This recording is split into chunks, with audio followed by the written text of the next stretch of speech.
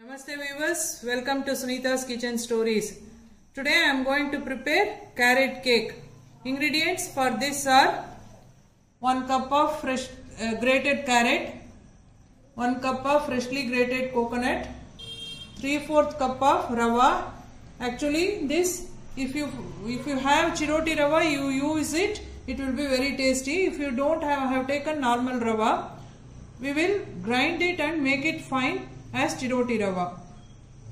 Then one three fourth cup of jaggery, desired amount of dry fruits, ghee one or two teaspoons, a pinch of salt, one teaspoon of baking powder, vanilla essence half a teaspoon, required amount of milk.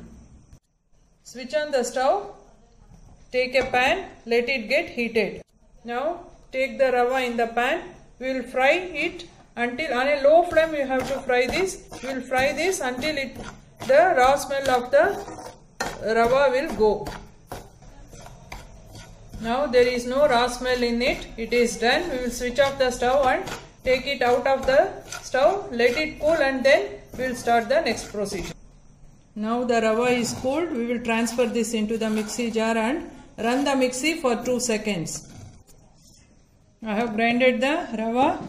It is ready. We will transfer this into the broad vessel so that it will be easy to mix all the ingredients. Now we will do the same procedure with carrot. Just run the mixie, put it in the mixie, run it for just 2 seconds. Now it is ready. Before adding this to the rava, what we will do? We will mix the baking powder into the rava. We will add this into the rava and mix it thoroughly. Now we will add this carrot into the rava and we will do the same procedure with the coconut also. We will take this in the mixer and run for 2 minutes so that it will mix thoroughly with rice. Sorry 2 seconds and it, so that it will mix thoroughly with the other ingredients. Now this is also ready. I have run the mixie for 2 seconds and we will mix this into the carrot and rava mixture. Now we will mix all the ingredients thoroughly. Then we will add the jaggery. Now we will add jaggery to it. Then we will add a pinch of salt to it. It enhances the taste of the cake. Just one one and a half teaspoons of ghee. Now we will mix it thoroughly. Now after mixing, we have to add milk so that it will get little bit of pori consistency. Mix it batch by batch, don't pour at once. Now this consistency is enough. Around half a glass of milk I have added. Now to this we will add dry fruits, desired and desired amount and desired dry fruits you can add. Mix. Now finally we will add vanilla essence, half a teaspoon of vanilla essence. Mix it thoroughly.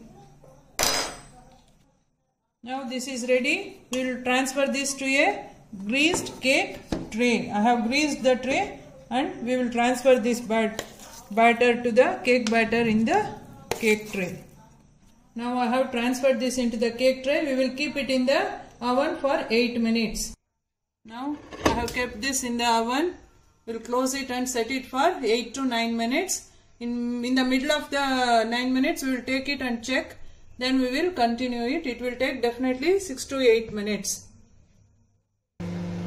Now after 8 minutes the cake is ready. We will take it out and let it cool and cut.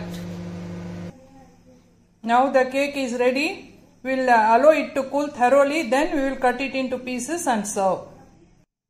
Now I have cut the pieces of the cake. It is cooled thoroughly. See they have come out very nice.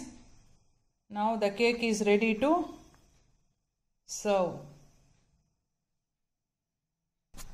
Now the tasty and healthy Cake is ready to serve. This recipe is shared by one of my best friend Umamani's aunt.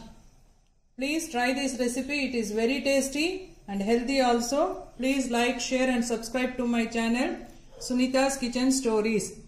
Wish you all a very happy Merry Christmas. Thank you.